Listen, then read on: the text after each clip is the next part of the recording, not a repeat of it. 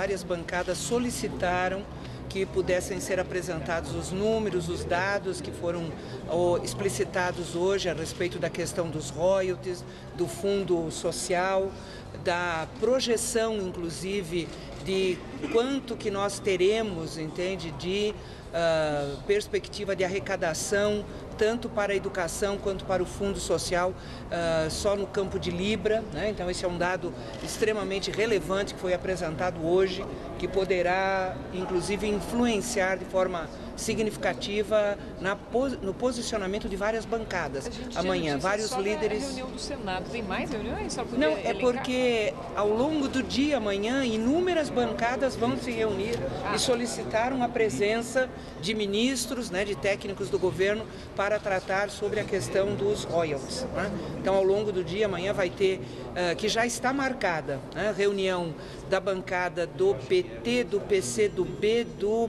PR do PSC, do PRB.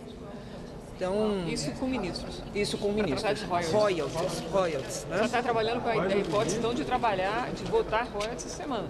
É, acho que existe esta possibilidade. O que uh, boa parte dos líderes pediu, né, os líderes pediram assim de forma muito insistente, é de que nós pudéssemos fazer as reuniões com as bancadas uh, para poder preparar né, um bom debate e todos estarem votando com consciência, que a gente tenha a garantia dos recursos, dos royalties para a educação e também para a saúde, né, como já teve uma uma, uma votação preliminar, né, do 75-25, mas que nós também tenhamos todo o cuidado de não desestruturar o marco regulatório né, do pré-sal, que foi algo muito debatido, profundamente né, discutido e aprovado, ou seja, que a gente não utilize a discussão dos royalties para a educação para rediscutir todo o marco regulatório. Agora... Este é, é, algo que foi uh, colocado inúmeras vezes por vários líderes ao longo do, da reunião de hoje com a presidente. Ministra, mas para votar royalties tem que retirar a urgência do projeto do Código de Mineração.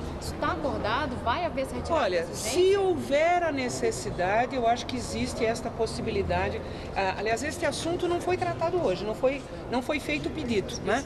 Específico, mas uh, da parte da presidenta, já na reunião passada, ela colocou que isso é algo que pode ser avaliado.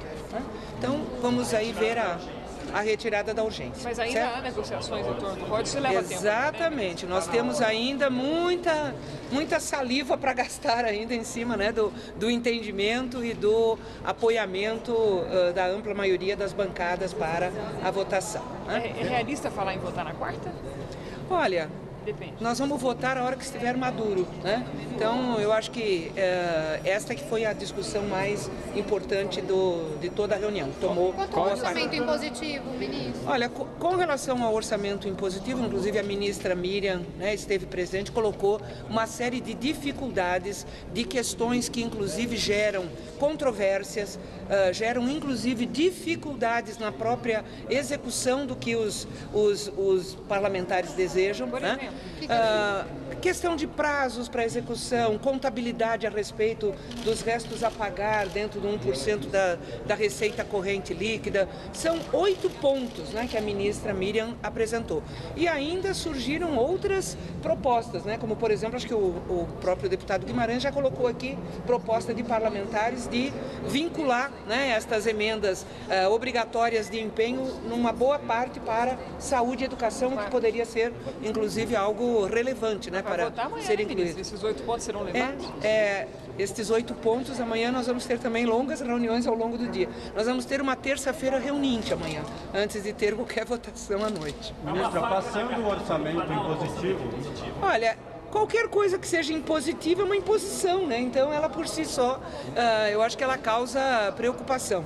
Então vamos avaliar, entende, ao longo do dia como é que evolui. O senhor acha Passando... que esse caso pode parar no Supremo, ministra? É, há um, há um temor disso acirrar ânimos as relações entre executivo e legislativo? Olha, eu já tive a oportunidade de dizer, depois da reunião da semana passada, que nós devemos evitar o máximo de judicialização possível. Né? Então, todas as matérias que nós pudermos evitar que elas sejam né, levadas ao Supremo Tribunal é, é de bom, né? acho que é é, é, é, do interesse de todos, é o interesse do executivo, o interesse do legislativo e principalmente o interesse da população.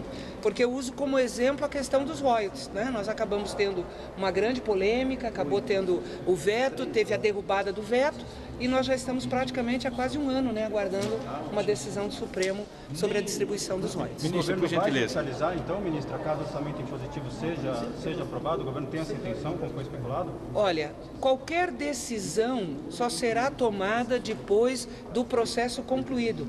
É bom sempre lembrar, né?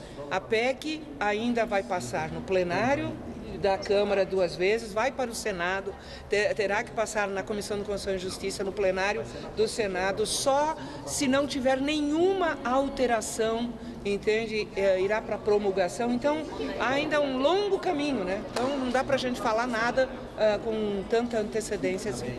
Tá? Ministra, voltando aos códigos sobre 60% lá do antecedente, existe alguma saída? O governo é uma coisa que vai ficar sujeita? O deputado Eduardo Cunha foi muito categórico no sentido de que há precedente para a apresentação do destaque e ele já anunciou que ele fará esse destaque e está uh, buscando o apoio né, de outros parlamentares e é do óleo excedente. E eu gostaria inclusive de realçar que esta não é uma matéria qualquer, porque nós temos já um leilão com edital na rua, né, já colocado, e, portanto, qualquer matéria que entre em debate, se vai ser 40%, 60%, uh, obviamente isso terá consequências em cima de um edital e de um processo de, né, de em andamento aí para o posto de... Então,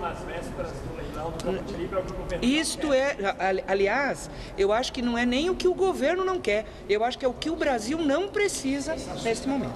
Ministra, esse novo estilo da presidente Dilma, esse olho no olho da presidente Dilma, três horas de reuniões com cada grupo de parlamentares, Está dando resultado? A senhora acha que terá um efeito positivo? Olha, eu acredito que é bastante positivo e os resultados já estão aí. Né? Nós estamos tendo o debate, as propostas, possibilidades de acordos, de negociações em temas que são muito importantes para o país. É, os então, parlamentares pediam, né? É, eles pediam. Então agora dá reunião. E essa nova relação veio para ficar, essa nova relação? Eu acredito que sim, porque já na semana passada ela marcou as reuniões desta semana, né, com a Câmara e com o Senado, e há uma, uma deliberação de que no mínimo de 15 em 15 dias dias. Se ela puder estar, uh, ela participará, se não, o vice-presidente da República.